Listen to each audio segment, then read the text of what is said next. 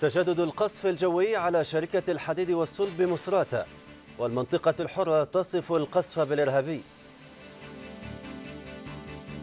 ثمانية قتلى على الأقل في المعارك بمنطقة الصابر أمس وقصف بالأسلحة الثقيلة على منطقة جاريونس مجلس نواب المنحل يوقع قرار إعادة 129 ضابطا إلى الخدمة العسكرية بينهم اللواء المتقاعد خليفة حفتر.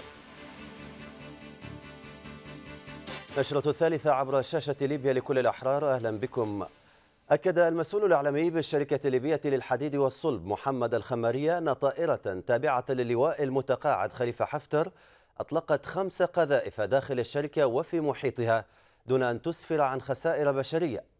أضاف الخمارية لقناة ليبيا لكل الأحرار أن ثلاث قذائف سقطت داخل سور الشركة وسقطت قذيفتان خارجه. يشار إلى أن هذه هي المرة الثانية التي تتعرض فيها الشركة الليبية للحديد والصلب لهجوم طائرات قوات حفتر خلال أسبوع. وللحديث في تفاصيل الحادثة ينضم إلينا عبر الهاتف مسؤول الإعلام بالشركة الليبية للحديد والصلب محمد الخمارية سيد الخمارية هل من تفاصيل أكثر حول القصف الذي تعرضت لها الشركة اليوم؟ بسم الله والصلاة والسلام على رسول الله. على تمام الساعة العاشرة والنصف من صباح هذا اليوم تعرض مجمع الشركة الليبية للحديد والصلب إلى قصف جوي. كان هذا القصف بعدد خمس بعدد خمس قذائف كانت ثلاثة منها سقطت داخل سياج المجمع. بالقرب من ورش التدريب ولله الحمد كانت ورش التدريب مكتظة بالمتدربين والعاملين ولكن ولكن الله سبحانه وتعالى سلم ولم تسفر عن أي إصابات بشرية ولا مادية جسيمة في حين سقطت القذيفتين القذيفتان الأخرتان خارج المجمع وكذلك لم يسفر على أي أضرار لا بشرية ولا مادية. يعني بشكل نهائي تؤكد أن حتى على مستوى الأضرار المادية لا توجد أي أضرار مادية نتيجة هذا القصف. نعم باستثناء بعض الشظايا التي تناثرت على مجمع على مجمع الورش في إدارة التدريب وهي إصابات بسيطة جدا. طبعا هذا القصف يأتي في يأتي ضمن المرة الثانية ضمن سبعة أيام أو ثمانية أيام وهذا القصف يعتبر قصفا غادرا لاستهدافه مؤسسه مدنية صناعية تجارية معنية بصناعة الحديد والتسويق طيب. وتسويقه وليس وليس لها علاقة من قريب أو من بعيد بالعمليات العسكرية طيب برأيك لماذا يتم استهداف هذه المؤسسة المدنية للمرة الثانية على التوالي؟ هل من أسباب قد تبرر هذا الاستهداف أو تفسر؟ نعم.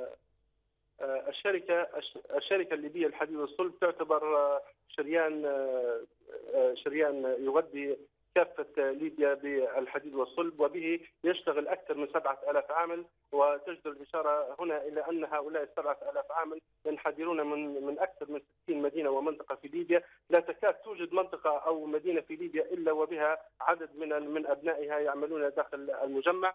طبعا هذه الكثافة السكانية تشكل هدفا هدفا لهذه الغارات الهمجية التي تهدف إلى خلق نوع من الارتباك والجلبة داخل المجمع. ولكن ولله الحمد كان رد شكرا لك.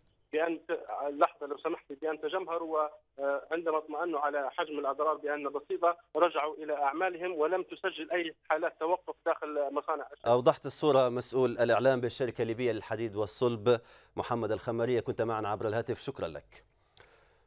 قصف الطيران الحربي التابع للواء المتقاعد خليفة حفتر صباح اليوم المنطقة الواقعة جنوب مصنع الحديد والصلب في مدينة مصراتة وقال مدير مكتب العلاقات العامة بالمجلس البلدي في مصراتة رمضان معتيق إن الغارة استهدفت سبخة تقع بالقرب من قاعات للمحاضرات والندوات ولم تسفر عن خسائر بشرية. أضاف معتيق أن الهدف من هذه الغارات هو دفع الشركات العاملة في المدينة إلى مغادرتها حسب قوله.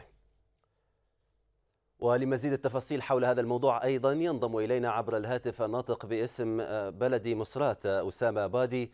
سيد بادي ما آخر التطورات في مدينة مصرات عقب عملية القصف هذا؟ مساء الخير لك سيدي الكريم ولمشاهديك الكرام. نعم. كما تابعتم عبر وسائل الإعلام وكما قال لكم المتحدث الإعلامي باسم الشركة الليبية للحديد والصلب في هذا الصباح فإن الطائره طائرة حربية تابعة لهذا المدعو المجرم الإرهابي حفتر دخل أجواء المدينة صباحا وحاول الاستهداف بعض الأهداف داخل الشركة الليبية الحديد والصلب.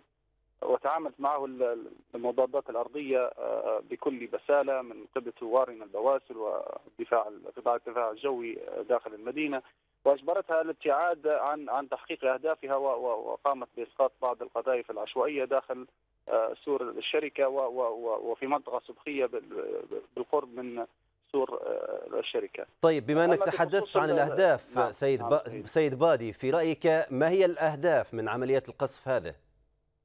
ليس له هدف هذا المجرم إلا ترويع الآمنين وتدمير البنى التحتية للمدينة وللدولة الليبية وقتل الأبرياء. هذه هذه المنشآت يا سيدي الكريم هي عبارة عن منشآت حيوية مدنية لا تحمل أي صفة عسكرية. فما فما الهدف من من استهداف مطار أو أو ميناء أو أو مصنع لتصنيع الحديد والصلب؟ فليس له هدف إلا ترويع الآمنين ومحاولة كسب بعض الانتصارات الإعلامية لأتباعه والجبهات التي الذي هو متقهقر قواته متقهقره في تلك في تلك في تلك الجبهات. طيب فنحن فنحن بدورنا في المجلس البلدي تواصلنا مع العديد من المؤسسات لتحميلها ووضعها عند عند مسؤولياتها في في في الحفاظ على أرواح المدنيين داخل المدينة فيما يخص واضح سيد بادي فقط فيما يخص المعلومات حول عملية القصف هذه هل لديكم في في بلد مصراتة أي معلومات حول المكان الذي تقلع منه هذه الطائرات؟ تبقى جميع المعلومات عبارة عن تكهنات ولكن الثابت أن هناك بعض المهابط في شرق البلاد وغربها هي تحت سيطرة هذا المدعو حفتر وعصابته الإجرامية. فهذه المعلومات ليست دقيقة لدى المجلس البلدي شكرا. ولكن نعلم نحن جيدا أن هناك بعض المهابط وبعض القواعد الجوية التي يسيطر عليها هذا المجرم وتقلع منها هذه الطائرات لقصف بعض المنشآت الناطق باسم المجلس البلدي في مدينة مصراتة أسامة بادي كنت معنا عبر الهاتف. شكرا جزيلا لك. هذا ودانت إدارة المنطقة الحرة بمصراتة في بيان لها ما أسمته بالهجوم الإرهابي الذي تعرض له ميناء المدينة. وقالت الإدارة إن استهداف الميناء يعد جريمة في حق الإنسانية وخرقا صارخا لكافة المواثيق والعهود الدولية والمحلية. وحملت الإدارة جميع الأطراف المعنية محليا ودوليا مسؤولية سلامة هذا المرفق المدني وسلامة السفن البحرية والخطوط الملاحية. قال الناطق الرسمي باسم غرفة عمليات المنطقة الغربية العقيد محمد مهرة إن هدوءا نسبيا يسود المنطقة الواقعة في محيط قاعدة الوطية الجوية مضيفا أن القاعدة شهدت يوم أمس إقلاع طائرات تابعة لما يعرف بعملية الكرامة.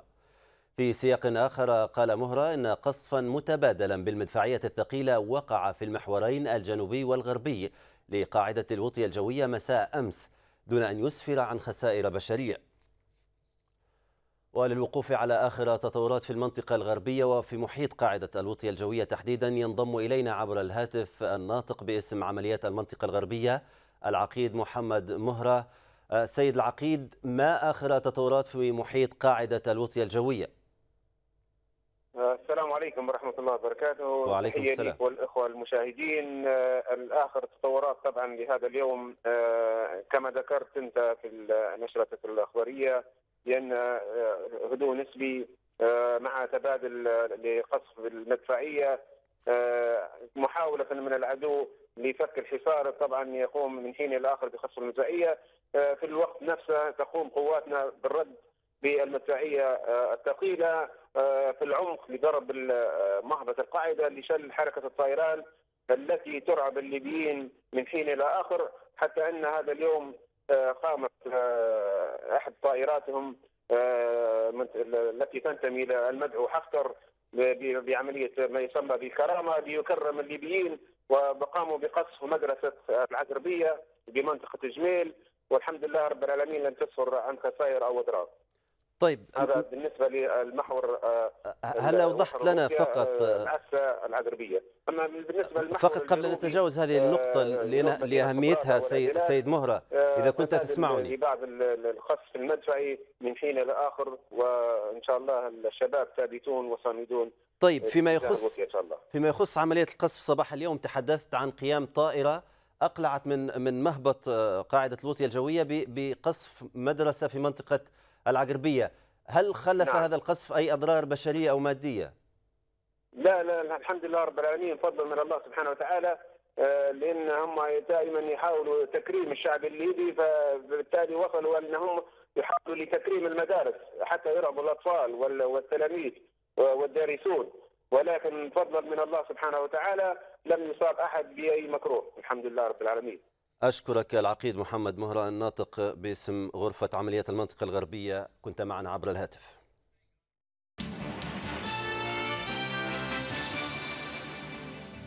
أكد مصدر بمركز بنغازي الطبي وصول ثمان جثث للمركز خلال الساعات الأربع والعشرين الماضية. وأفاد المصدر بأن الجثث هي لعناصر تابعين للكتيبتين 204 دبابات و21 سقطوا خلال المعارك في منطقة صابري.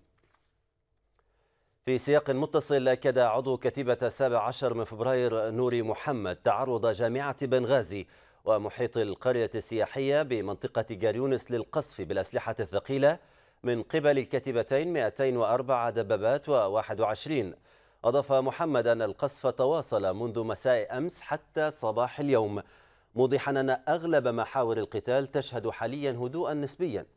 أشار نوري إلى أن قوات شورى الثوار تمكنت أمس من التقدم والسيطرة على عدة نقاط في جهة الزريعية بمنطقة الصابري.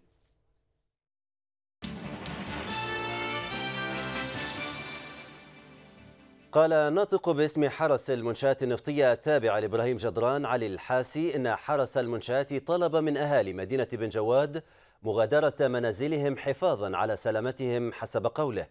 أضاف الحاسي أن قوات حرس المنشآت تحرز تقدما تجاه مدينة بن جواد وذلك بعد اشتباكات أمس بالأسلحة الثقيلة والمتوسطة وتحت غطاء من الطيران الحربي التابع لما يعرف بعملية الكرامة بحسب الحاسي. وأكد الحاسي أيضا مقتل ثلاثة عناصر من حرس المنشآت في معارك بين قواتهم وقوات عملية الشروق. وفي السياق نفسه أكد مراسل قناة ليبيا لكل الأحرار مقتل ثلاثة أشخاص أمس وجرح ستة آخرين من عناصر قوات حرس المنشآت النفطية التابعة لإبراهيم جدران في محور ميناء السدر النفطي. كما أكد تجدد الاشتباكات بين قوات عملية الشروق التابعة لرئاسة الأركان العامة للجيش الليبي التي كلفها المؤتمر الوطني العام تحرير الموانئ النفطية وقوات حرس المنشآت التابع لإبراهيم جدران.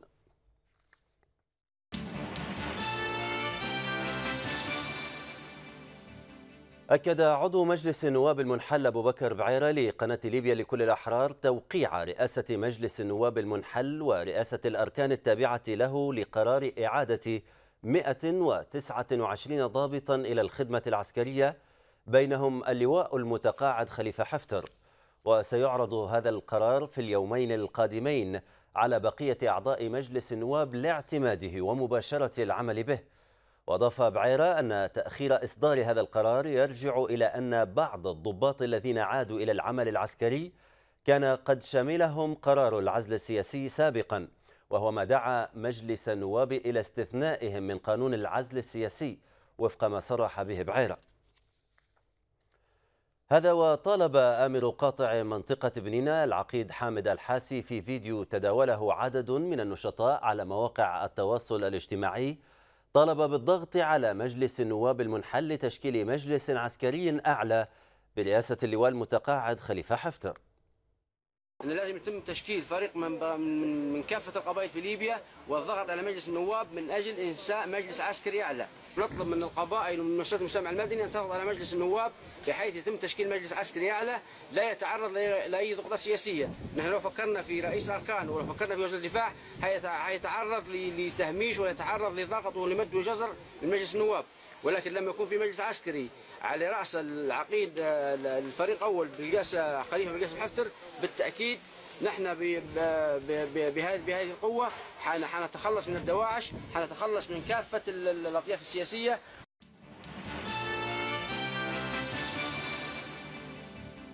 طالب رئيس المؤتمر الوطني العام نوري أبو سهمين المدعي العام العسكري بفتح تحقيق شامل في مقتل 15 جنديا تابعين للكتيبة 186 مشاة التابعة لرئاسة الأركان العامة المكلفة من قبل المؤتمر الوطني وذلك عند نقطة تفتيش بمنطقة براك الشاطئ. وأكد أبو سهمين أن مثل هذه العمليات تقف وراءها أياد استخباراتية ترمي إلى بث الفرقة بين أبناء الشعب الليبي. أكد عميد بلدية باري أحمد المرتضى لقناة ليبيا لكل الأحرار أن المدينة تشهد هدوءا نسبيا بعد اشتباكات متقطعة جرت مساء أمس بين التوبو والطوارق. أضاف المرتضى أن اللجنة المركزية للإغاثة واللجنة الفرعية الموجودة في أوباري تتابعان أوضاع النازحين بسبب الاشتباكات التي تشهدها عدد من البلدات الأخرى. يذكر أن أوباري تشهد أوضاعا إنسانية سيئة جراء نقص الغذاء والدواء وانقطاع التيار الكهربائي بحسب المرتضى. وزع الهلال الأحمر الليبي فرع طرابلس مساعدات إنسانية على النازحين المقيمين في العاصمة. وأوضح الناطق باسم المكتب الإعلامي للهلال الأحمر فرع طرابلس مالك مرسيط أن المساعدات التي قدمتها دولة الدنمارك شملت مدافئ وبطانيات ومستلزمات أطفال. كما أشار مرسيط إلى أن المساعدات توزع على النازحين في مقر فرع الهلال الأحمر الواقع بمنطقة قصر بن غشير.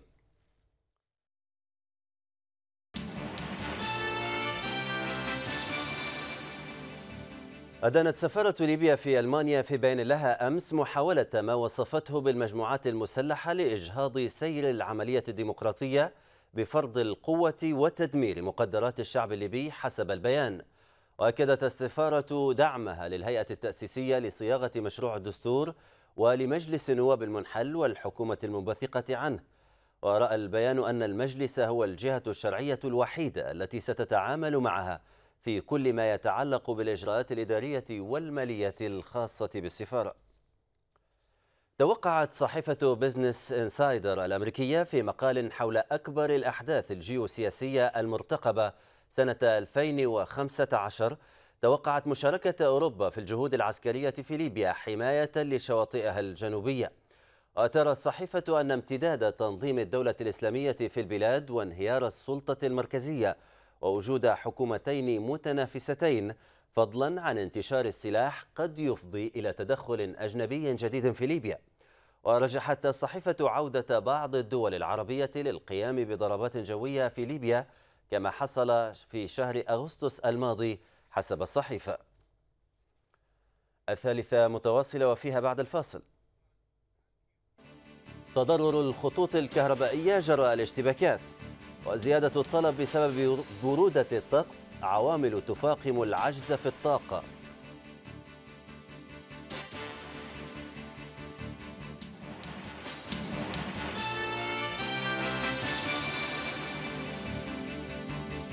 تجدد القصف الجوي على شركة الحديد والصلب مصراتة والمنطقة الحرة تصف القصف بالإرهابي. ثمانية قتلى على الأقل في المعارك بمنطقة الصابر أمس وقصف بالأسلحة الثقيلة على منطقة جاريونس مجلس نواب المنحل يوقع قرار إعادة 129 ضابطا إلى الخدمة العسكرية بينهم اللواء المتقاعد خليفة حفتر. أهلا بكم مجددا في الثالثة. أعلنت اللجنة المركزية لانتخابات المجالس البلدية النتائج النهائية لانتخابات المجلس البلدي لبلدية كاباو والتي أجريت في نوفمبر الماضي. وشهدت الانتخابات نسبة مشاركة بلغت 30% من أصل أكثر من 7000 ناخب مسجل. وأسفرت النتائج عن فوز محمد مسعود شريحة بالمرتبة الأولى في الفئة العامة التي شارك فيها 21 متنافسة فيما تحصلت تهاني صالح على مقعد النساء في المجلس بالتزكية. أما مقعد فئة المعوقين من الثوار فقد كان من نصيب محمد سعيد أوشن. كما أعلنت اللجنة المركزية لانتخابات المجالس البلدية عن النتائج النهائية لانتخابات بلد جادو التي أجريت في ديسمبر الماضي. وجاءت النتائج بفوز علي عمرو أكرار بالترتيب الأول في الفئة العامة التي شارك فيها 24 متنافسة. فيما لم تشهد فئة النساء منافسة لعدم ترشح امرأة لشغل المقعد. أما مقعد فئة المعوقين من الثوار فقد فاز به بالتزكية علي يخلف سالم. يذكر أن الانتخابات شهدت نسبة مشاركة متدنية بلغت 2 22% من أصل أكثر من 6000 ناخب مسجل. قال مدير عام إدارة التحكم بالشركة العامة للكهرباء محمود الورفلي إن الشركة تقوم حاليا بأعمال صيانة للشبكة العامة في دوائر جميل شكشوك بسبب تضررها في الاشتباكات الأخيرة. وأوضح الورفلي لقناة ليبيا لكل الأحرار أن إصلاح دوائر جميل شكشوك سيمكن منطقة الجبل الغربي من الاستفادة من 200 ميجاوات. مشيرا إلى أن 200 ميجاوات أخرى ستشغل في محطة تسرير بعد صيانة دوائر راس لانوف جدابيا أضاف الورفلي أن الشركة العامة للكهرباء طلبت من المؤسسة الوطنية للنفط مدها بأربعين مليون قدم مكعب إضافية من الغاز لتشغيل حقل الساحل ورفع قدرات محطة زويتينا يتزايد الطلب على الطاقة خاصة مع ما تعرفه البلاد من برودة الطقس إضافة إلى الاشتباكات المسلحة التي ألحقت أضرارا في العديد من الخطوط وهو أمر يفاقم أزمة الطاقة ويجعل عددا من المدن تسجل نقصا في التزود بالكهرباء. المزيد في سياق التقرير التالي. قالت الشركة العامة للكهرباء إن العديد من خطوط وشبكات نقل وتوزيع الكهرباء تعرضت لأضرار بسبب العوامل الجوية فضلا عن تضرر الخطوط الداخلية الرابطة بين المنطقتين الغربية والشرقية بسبب الاشتباكات المسلحة. الشركة العامة أضافت أن الاشتباكات المسلحة تسببت في خسارة حوالي 250 ميجاوات من قدرات محطة الرويس مؤكدة أن تزايد الطلب على الطاقة وبرودة الطقس أدت إلى تفاقم العجز الطاقي وارتفاع ساعات انقطاع التيار الكهربائي في المنطقة الغربية.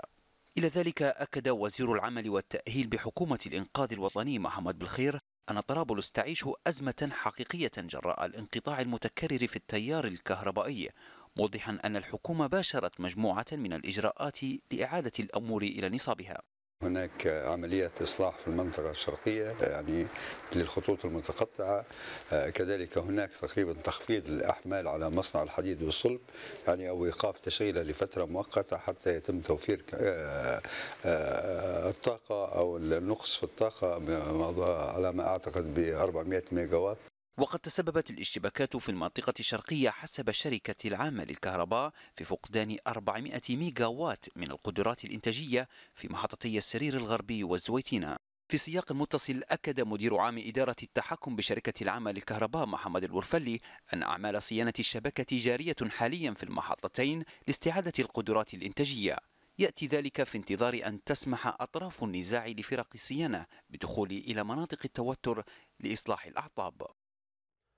انطلقت في طرابلس بمناسبة اليوم العالمي للشجرة حملة نفسها تتنفس التي ترمي إلى تنظيف الغابات الواقعة بالعاصمة. وقال مدير إدارة الإعلام بالجمعية الليبية لحماية الحياة البرية والبحرية أحمد الجدي لقناة ليبيا لكل الأحرار إن الحملة ستستمر لمدة شهر كامل وتضم أعضاء من خمس جمعيات. يشار إلى أن اليوم الوطني للشجرة يصادف الأول من يناير من كل عام. وللحديث حول هذه الحملة ينضم إلينا عبر الهاتف من طرابلس رئيس مجلس إدارة الجمعية الليبية لحماية الحياة البرية والبحرية أنس الجايدي. سيد الجايدي لو تصف لنا الظروف التي رافقت هذه الحملة. بسم الله.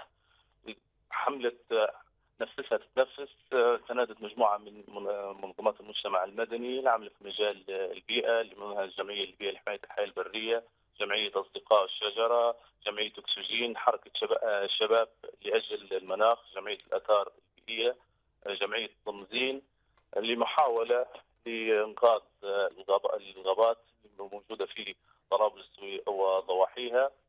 تستمر الحملة هذه إن شاء الله لمدة حوالي ثلاثة أشهر.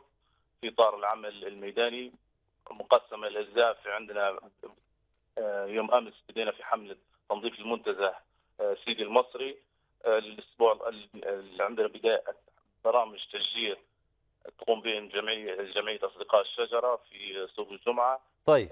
الخميس إن شاء الله الخميس القادم في عندنا احتفالية حتكون في محمية المسلاتة أحياء اليوم اليوم الوطني للشجره. طيب كيف كيف كان التجاوب الشعبي مع هذه الحملة؟ الحمد لله يعني كان أمس يعني كان مجموعة النشطاء البيئيين العدد لا باس به وإن شاء الله نحاول نتوقع إنه يكون في ازدياد ونحن نشكر حتى نشكر شركة الخدمات العامة كانت أول مؤسسة يعني حكومية ساعدتنا في عملية همس إزالة المخلفات الصلبة الموجودة يعني كان لهم دور كبير يعني شكرا لك من طرابلس رئيس مجلس إدارة الجمعية الليبية لحماية الحياة البرية والبحرية أنس القايدي شكرا جزيلا لك. والآن نتابع جديد صفحة رياضية.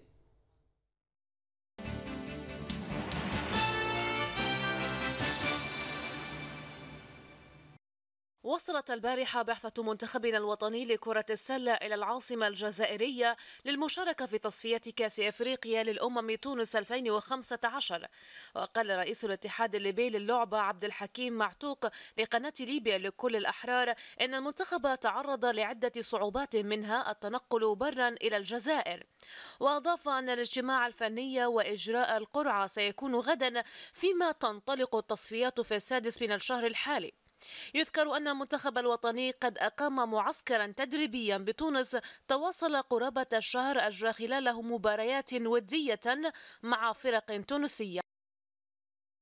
يلتقي بعد غد الثلاثاء الاتحاد بفريق شبيبة بجاية الجزائري في لقاء ودي بملعب القنطاوي في ختام معسكره التدريبي بسوسة التونسية. يذكر أن الاتحاد سيشارك في كأس الكاف حيث أوقعته القرعة في مواجهة فريق إليكت سبور التشادي وستكون مباراة الذهاب في تونس في منتصف فبراير المقبل. في دوري المنطقة الجنوبية لفئة الأواسط ضمن الأسبوع الخامس فاز فريق القدس على فريق نجوم الشاطئ بأربعة أهداف لهدف واحد في لقاء أقيم على أرضية الملعب البلدي سبها. وأعلن الاتحاد الفرعي للمنطقة الجنوبية عن توقف جميع المسابقات لإفساح المجال أمام الطلبة لإجراء امتحانات جميع المراحل الدراسية. أكد لويس أنريكي المدير الفني لفريق برشلونة الإسباني أنه سيلجأ إلى تدعيم فريقه بعناصر من قطاع الناشئين بعد أن عوقب النادي الكاتالوني من قبل الفيفا بالحرمان من عقد صفقات شراء لاعبين جدد حتى 2016 لم نتفاجأ بقرار عدم السماح بشراء لاعبين حتى الموسم 2016 سنحاول الاستئناف بحثا عن قرار مختلف. لم تجري الرياح كما تشتهي سفننا ولذلك فإننا سنقبل بالقرار وسنعتمد على مخزوننا الكبير من اللاعبين الاحتياطيين.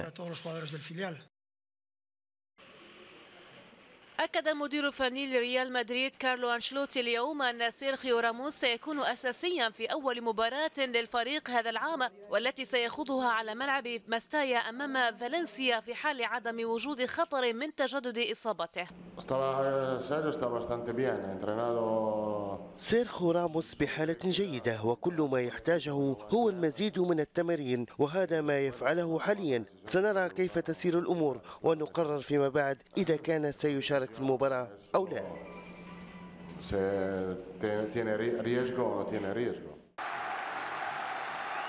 تعادل فريق هيبرنيان مع ضيفه هيرتز بهدف لهدف ضمن مباريات الجولة الثامنة عشرة من الدوري الإسكتلندي لكرة القدم. افتتح المضيف نتيجة المباراة عن طريق جيسون في الدقيقة الثالثة والعشرين. وفي الدقيقة الأربعين من المباراة تمكن جيمي ووكر من التعديل لهيبرنيان. وبهذه النتيجة يحافظ هيرتز على مسيرته الخالية من الهزائم هذا الموسم وليبقى في الصدارة برصيد 51 نقطة.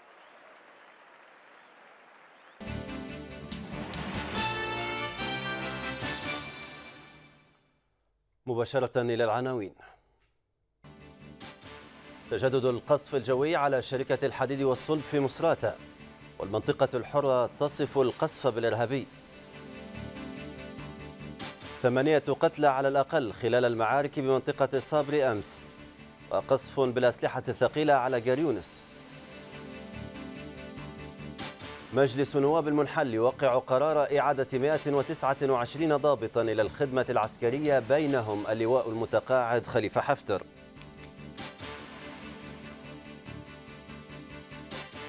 ختام نشرة دمت في أمان الله.